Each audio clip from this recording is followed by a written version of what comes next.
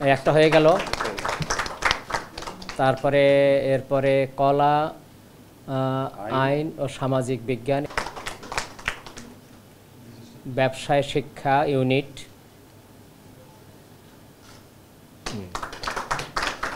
তারপরে চারুকলা ইউনিট।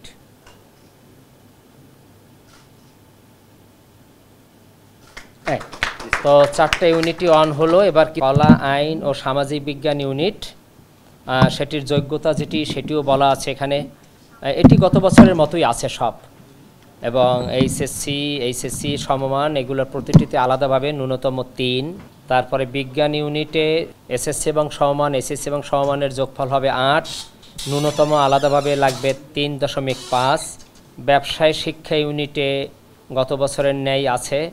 দুটোর যোগফল হবে সাত দশমিক পাঁচ এবং আলাদাভাবে ন্যূনতম তিন। চারুকলা ইউনিটে ছয় দশমিক পাঁচ। এইচএসসি, এসএসসি, এই অথবা সমমানের দুটোর যোগফল আর ন্যূনতম আলাদাভাবে তিন। আসন সংখ্যাটাও নির্ধারণ, নির্ধারিত আছে। আসন সংখ্যা আপনারা, আপনাদের হয়তো জানেন আপনারা। বিজ্ঞানে আসন সংখ্যা আঠারোশো একান্ন। কলা, আইন এবং সামাজিক বিজ্ঞান ইউনিটে আসন সংখ্যা দু হাজার নয়শো চৌত্রিশ। ব্যবসায় শিক্ষা ইউনিটের আসন সংখ্যা এক হাজার পঞ্চাশ। চারুকলা ইউনিটের আসন সংখ্যা একশো মোট পাঁচ হাজার নয়শো পঁয়ষট্টি। এই চারটি ইউনিটের মাধ্যমে ভর্তি হবে পাঁচ হাজার নয়শো পঁয়ষট্টি। পরীক্ষার তারিখ বারোই মে, বিজ্ঞান ইউনিট, আর ছয়ই মে, কলা, আইন ও সামাজিক বিজ্ঞান ইউনিট, তেরোই মে, এটি হলো ব্যবসায় শিক্ষা ইউনিট। চারুকলা ইউনিটের পরীক্ষাটা উনত্রিশে এপ্রিল। এখানে একটা বিষয় একটু বলে রাখা ভালো। ঠিক আগের মতো বিগত দুটো বছরে আমরা যেভাবে করেছি সেটি হলো যে বিভাগীয় শহরগুলোতে পাবলিক বিশ্ববিদ্যালয় পরীক্ষা আয়োজন।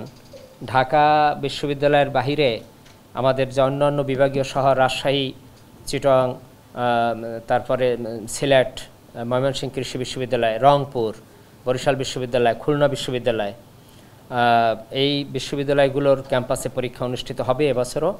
আমাদের সাথে তাদের ই হয়েছে, তারা সব ধরনের সহযোগিতা প্রদানে তারা সদয় সম্মতি জ্ঞাপন করেছেন। আর চারুকলার জন্য, চারুকলার লিখিত পরীক্ষা এবং অঙ্কন এ দুটো পরীক্ষাই একই দিনে অনুষ্ঠিত হবে।